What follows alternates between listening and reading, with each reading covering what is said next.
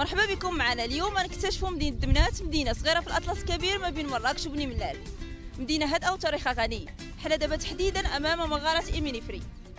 يعني بالأمازيغية بوابة المغارة. خليكم معنا اكتشفوها جميع كعادتها دأبت قناة أطلس على تعريف مغاربة العالم بمناطق وجهات مختلفة من المغرب.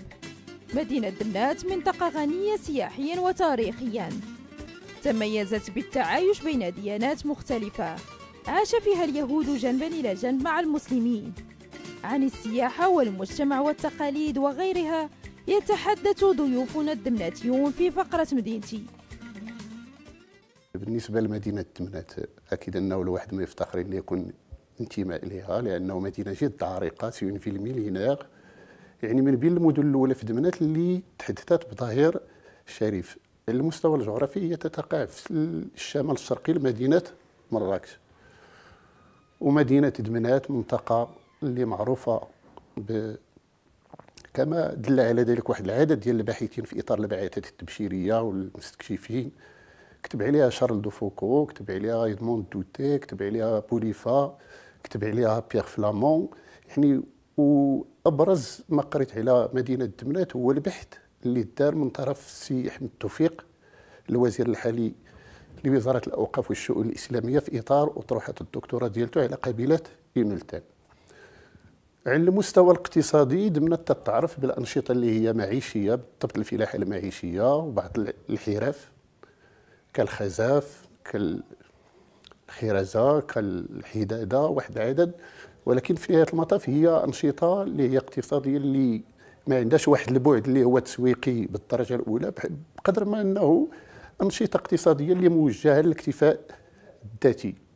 على المستوى السياحي فمدينة دمنات تزخر بواحد العدد ديال الموارد مجاليه اللي من شأنها أنه تخلي مدينة دمنات تحتل واحد الموقع جد متقدم في إطار ما يسمى بالسياحة القروية أو السياحة الجبلية رغم أن المد... أن دمنات مدينة من نهضروا على ما يسمى مثلا السياحة على غير السياحه في مدينة مراكش ولا في مدينة فاس ولا لأنه الموقع الجغرافي ديالها في الدير في السفح الشمالي الأطلس الكبير الأوسط أو الأطلس الكبير المركزي كما يحل بعض تسميتها تيخليها كبوابة لمناطق جبلية منطقة التساوت منطقه بوغماز منطقة زاوية أحنصال اللي كلها هي تتوقع في السفح الشمالي للأطلس الكبير كما تعتبر واحد المرحلة كبوابة أيضا ما يسمى بالشفح الجنوبي للأطلس الكبير الاوسط منطقة دادس منطقة تنغير ومنطقه مرزوقة.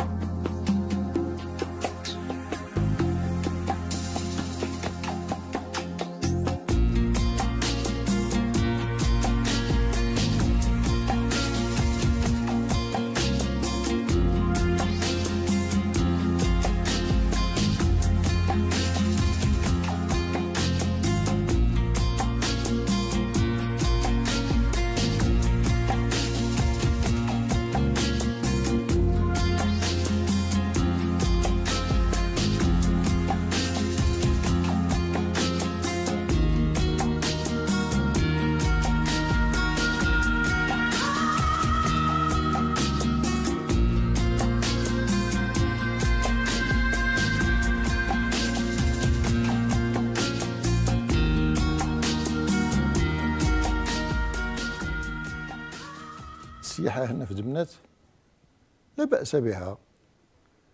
غير شوية خصها اللي يشتغل شي شوية بحال مثلا البناية التحتية بحال مثلا مغارة منيفري.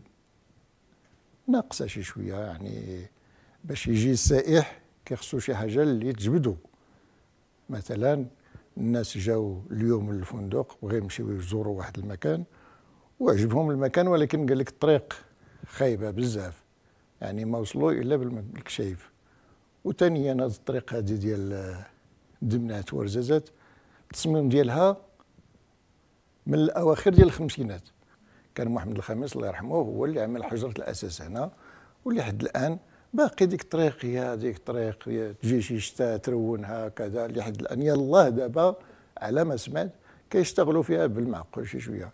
ونتمنى والله إن شاء الله الرحمن الرحيم باش تكمل هذه الطريق. على حقاش الطريق كتجبد السائح. تدمنات اللي ما تلقاوهاش في مناطق أخرى. يعني ملي تنقولوا اليهود والأنشطة الاقتصادية تنستحضروا الجانب البنكي تنستحضروا الجانب التجاري ولا الجانب الحرفي. إلا أنه في مدينة دمنه تعتبر من بين المناطق اللي لا نقدر نقول لك الوحيدة اللي عرفات إقحام اليهود في الأنشطة الفلاحية. يعني هنا في دمنات تعرفوا اليهود ما يسمى الأنشطة المزارعة. يعني تيقدروا يشريوا البهايم بالنسبة للناس في الجبال تيقدروا يدخلوا في, في عمليه دي ترانزاكسيون مع الناس في لامونتان في أنشطة اللي تتوالى من الأنشطة اللي كاينة في الجبل. غير بالنسبة للتواجد اليهودي في دمنات هو كاين بزاف ديال الروايات اللي في وجهه نظري أنا باقي ما تتحظاش بواحد النوع ديال العلمية الصلبة.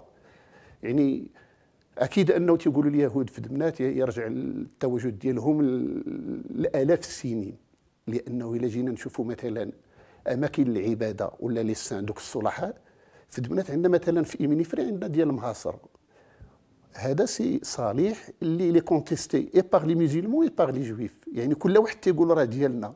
وهو تتمارس فيه شي ممارسات اللي تحيل على مراحل اللي كاينة قبل مجيء الإسلام. وهنا تيأكد لنا بأنه التواجد اليهودي في دمنات هو تواجد اللي جد جد قديم. ولكن في اعتقادي الشخصي أنه باش تعطى المسألة ولا هذه الأطروحة ولا هذه الفرضية واحد النوع ديال العلمية خص دراسات اركيولوجيه اللي تقدر تعطي آه، مبررات اللي تكون صلبة وتكون علمية.